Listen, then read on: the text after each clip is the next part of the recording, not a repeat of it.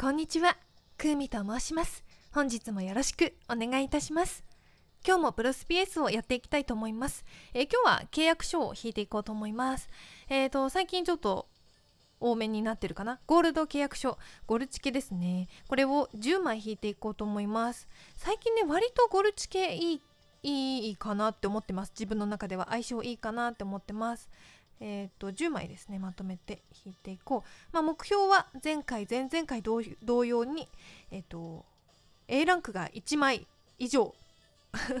10枚引いて A ランクが1枚以上出てくれたらいいかなと思っています。でえっ、と過去動画での戦績はゴールド契約書80枚引いて A ランクが5枚 S ランクが2枚っていう結果です。A ランクが 6.3%S ランクが2.5%っていう戦績ですね。はい。S ランク2.5%っていうのは本来も2.5%なのでまあ確率通りかな、まあ、確率通りに落ち着いてしまったっていう感じですかね。はい。ですが A ランク6.3%っていうのは本来は8.5%なので、まあ、ちょっとずつ確率は上がってきてはいますがまだまだ確率よりは引けていないっていう感じですね。なのでまあ A ランク1枚くらい来るかなっていうようなはい心持ちでやっていこうと思います。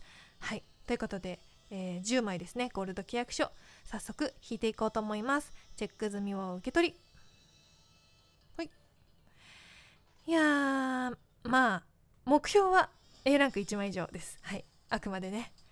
まあ来てくれたら嬉しいですけど行きましょう。タップスクリーン。紙吹雪がないとちょっと怖い。これは大丈夫かな？ん？ここれは？こあ燃えてる。よかったよかった。燃えてた。よしよしよしよしよし。ってことは A ランクですよね多分。A ランクはあるっていうことですよね。見ていきましょう。あーオッケーオッケー。とりあえず A ランク1枚。まあまあ最低ラインというか目標はクリア。誰が来るか。あおお来ましたね。ああオッケーオッケーオッケー。A ランク2枚とかも超上出来ですよ。オッケーオッケー。でもまだあるかな？7枚目。まあでも欲張っちゃダメかな。9枚目。ラスト。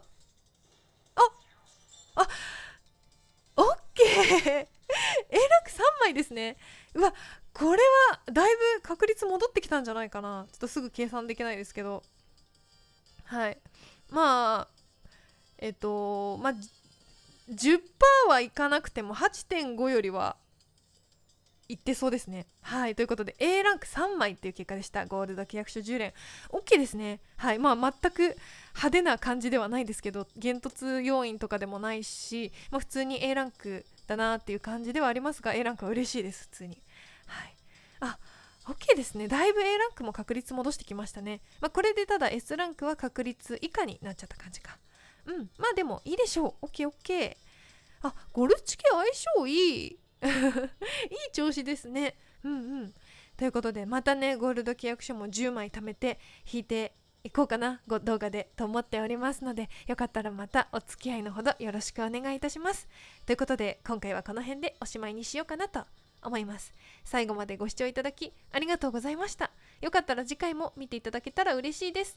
ということでこの辺で。バイバーイ。